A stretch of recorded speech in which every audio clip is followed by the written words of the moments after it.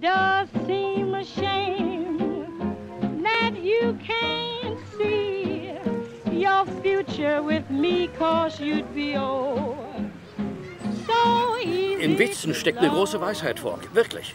Es gibt einen alten Witz über einen äh, Preisboxer, der im Ring steht. Der wird halb totgeschlagen, lässt sie den Verstand rausprügeln.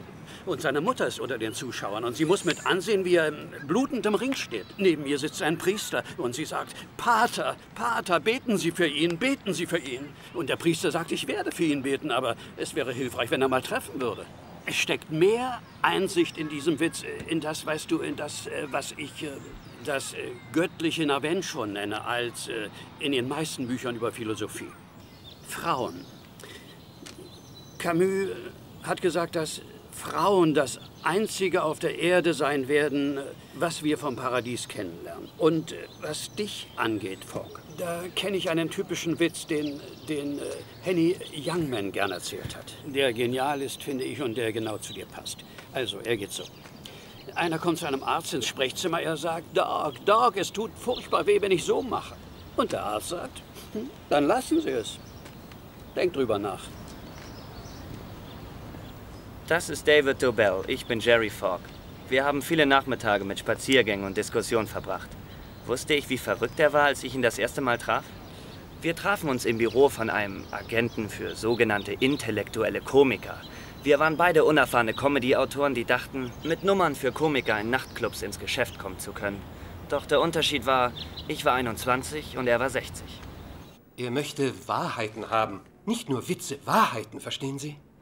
Und was das Honorar angeht, können wir uns diese verrückten Preise nicht leisten. Lassen Sie mich dazu nur eins sagen, wenn ich darf. Nun, ich spreche hier nicht für David Dobell, weil ich ihn nicht unter Vertrag habe. Denn wissen Sie, Jerry und ich haben ihn eben erst kennengelernt, aber ich betreue Jerry Fogg, seit er angefangen hat. Und mit Jerry Fogg kriegen Sie Top-Qualitätsware für Ihr Geld. Sie kaufen sich einen Anzug, Sie kriegen denselben Anzug aus einem billigen Stoff oder Sie bekommen ihn viel teurer. Jerry liefert Ihnen einen Anzug sehr preiswert. Einen Qualitäts-Qualitätsstoff zu bezahlbaren Preisen. Ist das Gabardin? Wer ist dieser meterwahre Vertreter, der dich betreut? Harvey?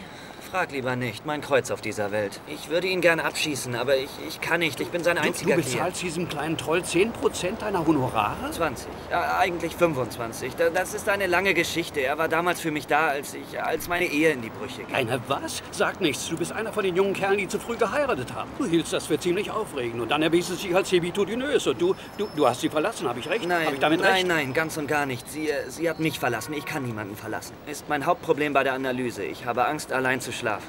Hebitudinös. Was? Du gehst schon zum Ja, Psychiater? ich, ich nehme das wirklich sehr ernst. Eigentlich habe ich sogar einige Fernsehangebote in Los Angeles sausen lassen, weil mein Seelenklempner meinte, dass wir noch nicht so weit sind.